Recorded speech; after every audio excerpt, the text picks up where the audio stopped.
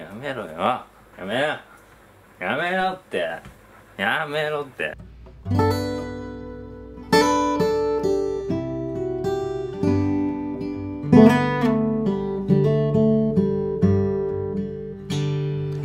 せーの。さあさ始まりました。少量チャンネル。翔太です。りょうです。少量です。はい今回はですねえっ、とよく聞かれるんですけれども僕たちのえー、長く付き合う秘訣うん。ををお伝えしようとはい。思います。よく聞かれるよね。うん。うん。まあ長く付き合う上で、うまあ秘訣っていうのは多分人それぞれいろいろあると思うんですけど、例えば一般的に言ったら何かな？喧嘩をよくするとかね。うそうだね。ん、よく聞くしうちらもよく喧嘩するし、うん。あとはなんだろうなお互いの趣味をうん。なんか理解し合うとかね、うん。なんかいろいろあるとは思うんだけど、ううんうん。ちらの場合どうかな？僕が思うのは、うん。一番はうん。割り勘を徹底することだと思います。まあ僕らとか、まあ、年の差が結構あったり、うん。12歳とかあったりしてまあそうなると必然的というかやっぱり年上が出してもらうことが多かったりするうん。とこは多分男女の恋愛とかでも多かったりすると思うんですけど、うん。そうなるとなんか平等じゃなくなる気もするんですよね。うん。おなお互いに平等に保つっていうのはやっぱり金銭面とかはあの徹底するのがうん。一番長く付き合うふあれだと思うんですよね、うん。そうそうそう。あのーうん。あれかな、うん。やっぱりそのいつも年上のね、あのーまあ男女のカップルでもそうだけど、うん。男性の方ばっかり出すとか、うん。あと年上の方がうん。だけ出すとか、うん。同性カップルの方でもねそういう風なのが続いちゃうと、うん。まあ、経済力がすごいある人だったら別に問題はないのかもしれないけど、なんか負担に感じる部分が出てきたりとか、ね。かも。あとはなんか逆に、あのーいつも出さ出してもらってる側がちょっと後ろめたい気持ちが出てきたりとかうん。することもあると思うから、まあ、ある程度ねそのきっちり分けてうん。お互いねしっかり、うん。しっかりというか、うん。出すところは出して、まあ、うん平等で対等にっていうのはすごくいいかもしれないよね。うん。そんなその1円単位とかそういうあれではないんですけど、うんうんうん。あのーまあそのどうしても年上側とかも無理していっちゃう気もするし、年下側も甘えていっちゃう気もするから、うんうんまあ一番何その公平に保つのは割り勘するのが僕は一番理想なのかなとは思います、関係性とかもうん。2人ともね、うん。同じぐらいになると思うし、うんうん。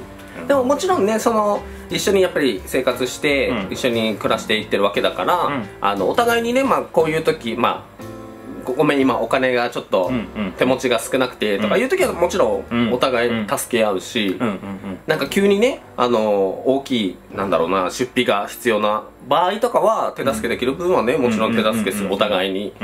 うん。ねそういうことはね、うん。もちろん一緒に協力し合って、うん。あのやっていくけれども、うん。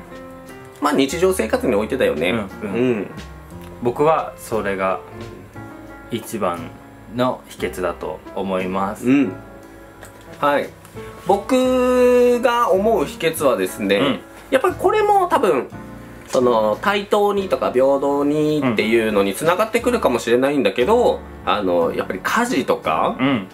まあいろいろ家事もあると思うんですけどご飯を作るとか洗濯するとか、うん。掃除をするとかあると思うんですけどまあ誰かしどっちかに偏りすぎないようには、やっぱりしたしてる方かなうちらは、だから時間がある方がうん。洗濯もするし、うん。えーっとご飯も作るし、うん。掃除もするし、うん。で一緒にできる時は一緒にするし、うんっていう感じがねやっぱお互いもお互い仕事やっぱりしてるから、一人にばっかりね負担がいくのはね、うんうんうんうんうん。良くないなと思うよね、うんだからできる時はでやるし、うん。まあ、できない時はお願いするしね。うん。ごめん今日ちょっと洗濯だけ回しといてもらっていいとかあの取り込んどいてもらっていいとか、うん。食器洗っといていいみたいなね、うんうんうん。まあ2つともに共通で言えることは平等っていうのが多分うん。あの一番の秘訣だと思うんですよね、まあその精神的にも、うん。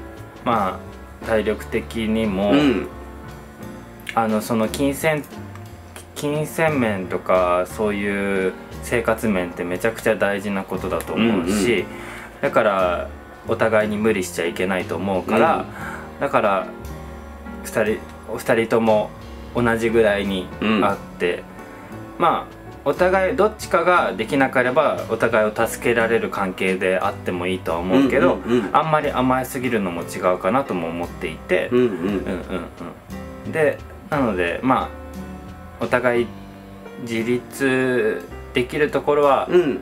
するのが一番理想的で長く続けられるのかなとは僕は思います。そうだね、うん。まあうちらの関係に限ってうん。言えばね、それで今のところうまくいってるので、ううん。んうん。なんかお互いにあの負担になりすぎない感じで、うんうんうんうんやまっていけてるのかなって思うよね。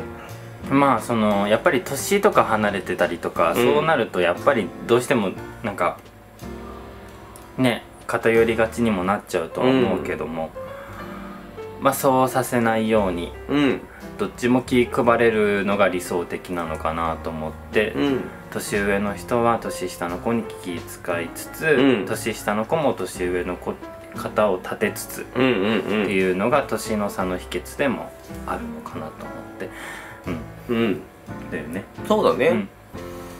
はい。というわけでですね今回は、えっと、僕たちなりの、うん。あの長く、えー続けていく秘訣うん。っていうのをアドバイス。はい、アドバイスになるかどうかわかんないですけどね、うん。あの考えてみました。見ました。はい、というわけでですね、はい。今回の動画が、えー面白いと思っていただければチャンネル登録と高評価のボタンをお願いします。インスタ、ツイッター、TikTok もお願いします。お願いします。ではまた